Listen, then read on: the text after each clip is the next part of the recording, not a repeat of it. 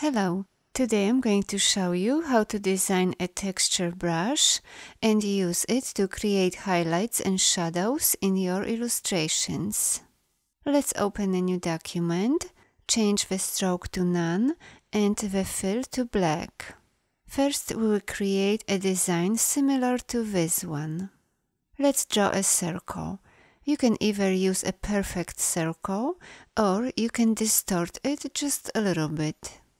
With the circle still selected, go to Effect, Distort and Transform and choose Roughen.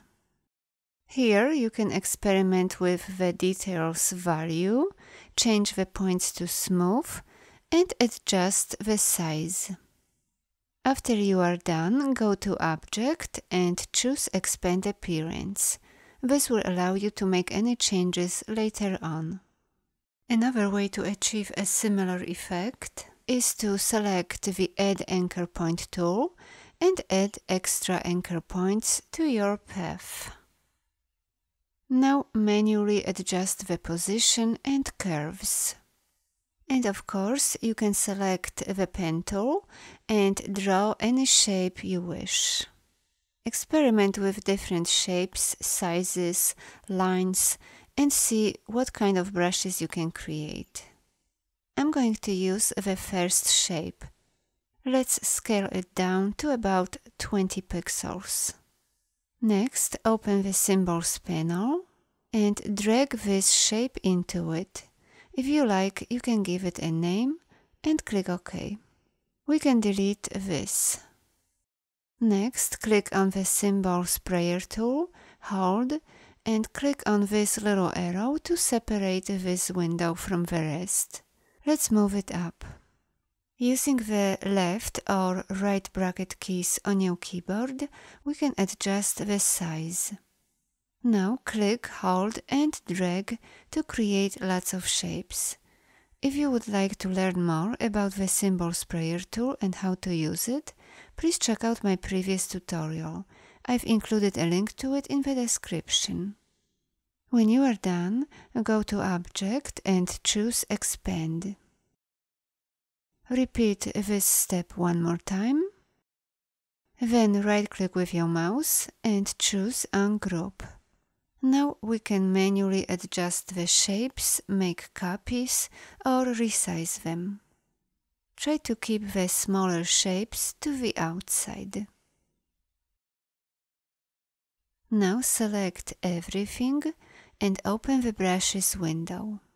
Let's resize it and drag it into this window. Select the scatter brush and click OK.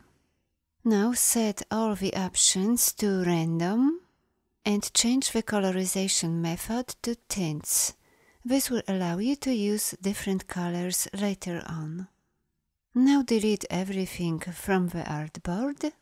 Make sure the new brush is selected. Get rid of the fill and press the letter B for the paintbrush tool. Now let's draw a straight line to test our brush. Right now there is too big of a gap between the brush elements. We can change this. First switch to the direct selection tool and select the existing path. Next, double click on the brush we created and let's make some adjustments. Depending on the look you want, you can change the size, spacing, scatter or rotation. In our case, we want to bring the brush elements closer together. Highlight the number in the spacing window and using the up or down arrow keys on your keyboard, adjust the spacing. Make sure your preview box is checked to see what we are doing. When you are satisfied with the look, click OK. Now switch to the paintbrush tool again, pick a different color and create another path. If you would like your path to be wider or narrower, open the stroke panel and adjust the stroke's weight.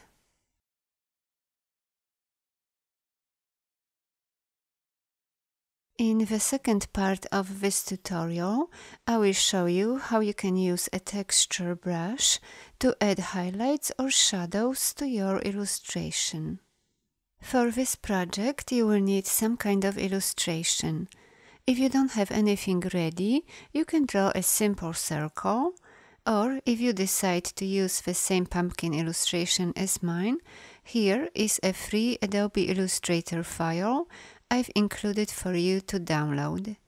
You will find a link to it in the description below. And these are the colors I will be using.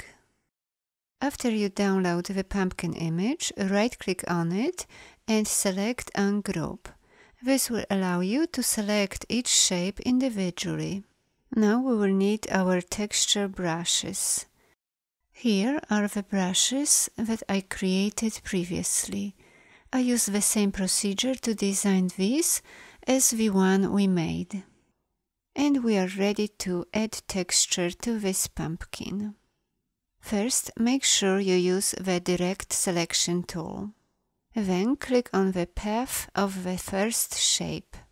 Let's change the fill to medium orange. Next, select the Draw Inside mode. This will give you an option of drawing inside the selected shape. As soon as this option is selected, Illustrator creates a border around the selected shape now anything you draw will appear only inside this shape. Next, swap the fill and the stroke. Make sure the stroke is on top and change its color.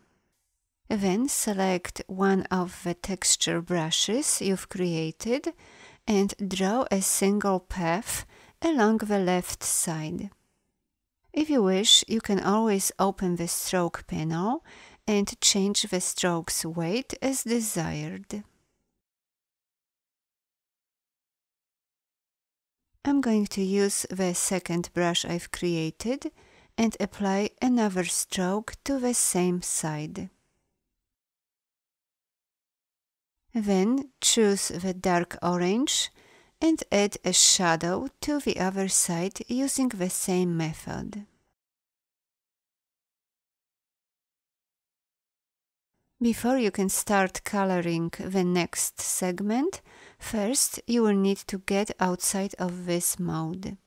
To do this, either press the Shift and D keys on your keyboard or click on the Draw Normal mode.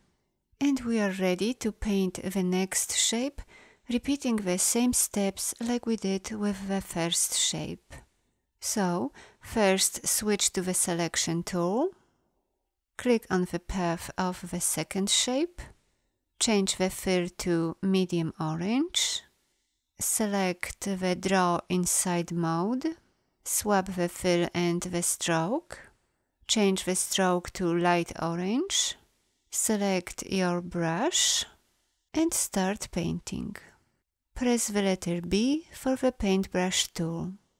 To move the artboard, press and hold down the spacebar and while you are still holding the spacebar, click, hold and drag your mouse. To zoom in or out, hold down the Alt key and while you are still holding the Alt key, use the scroll wheel of your mouse. And now start painting.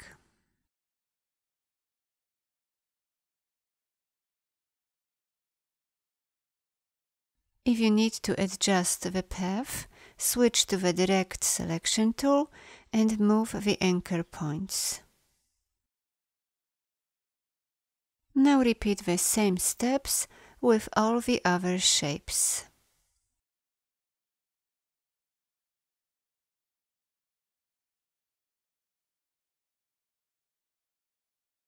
Finally, if you like, you can add a shadow.